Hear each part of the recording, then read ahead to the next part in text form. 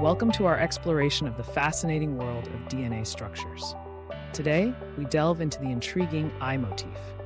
You might be familiar with the classic double helix, but the I motif is a lesser known, yet equally important structure. Let's start with the basics. DNA is the blueprint of life, composed of four nucleotides adenine, thymine, cytosine, and guanine. While the double helix is the most recognized form, DNA can fold into various shapes, including the I motif. The I motif is a four stranded structure formed in regions rich in cytosine.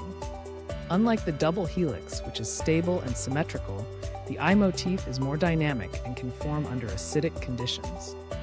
This unique structure plays a crucial role in regulating gene expression and is a subject of intense research in genetics and biochemistry. A common misconception is that DNA only exists in the double helix form. However, the I motif demonstrates the versatility and complexity of DNA structures. Understanding these variations is essential for advancements in genetic research and potential medical applications. As we conclude, remember that the I motif is not just a scientific curiosity. It represents the intricate dance of molecules that govern life itself. By studying these structures, we unlock new possibilities in understanding our genetic code. Thank you for joining us on this journey through the DNA I motif. Stay curious and keep exploring the wonders of genetics. Don't forget to like, subscribe, and share this video with fellow enthusiasts.